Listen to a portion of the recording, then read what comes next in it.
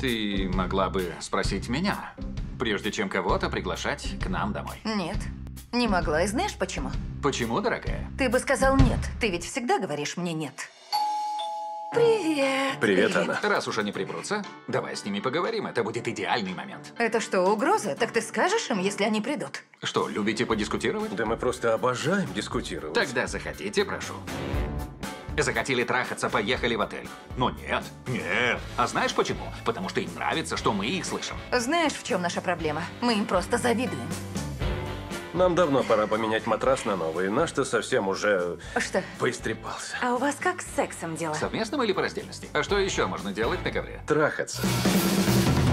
У нас все стены трясутся. Иногда мы занимаемся любовью. Это нормально. Абсолютно нормально. Достала? Вы обсуждаете мои оргазмы? Хулио пялится на твою грудь? Да, постоянно. Секс находится здесь. Мы такие, какие есть. А ты, значит, раскрепощенная женщина, которая балдеет от всего этого. Думаю, это пойдет мне на пользу. Я уже забыла, что такое хороший секс. Я же говорил тебе, что не стоило их приглашать.